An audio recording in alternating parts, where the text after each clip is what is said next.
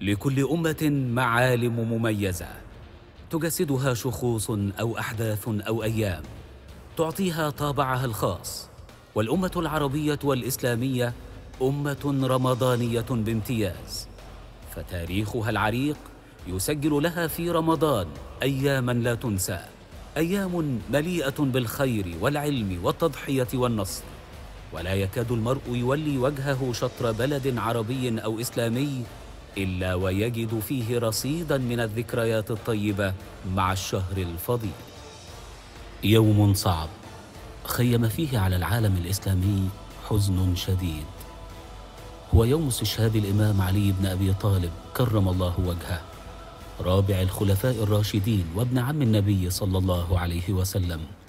وهو زوج ابنته فاطمة الزهراء ووالد سبطيه الجليلين الحسن والحسين. رضي الله عنهما.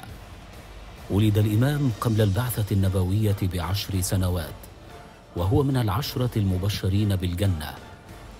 ترعرع في بيت النبوة وكان له وهو فتى في الخامسة عشرة من عمره موقف مأثور.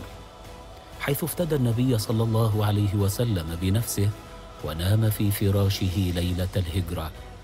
حين تآمر المشركون على قتل النبي صلى الله عليه وسلم. ومن مآثره رضي الله عنه وأرضاه أنه حين آخى الرسول صلى الله عليه وسلم بين المهاجرين والأنصار قال له أنت أخي. عرف علي كرم الله وجهه بالشجاعة والإقدام وشارك في كل الغزوات باستثناء غزوة تبوك.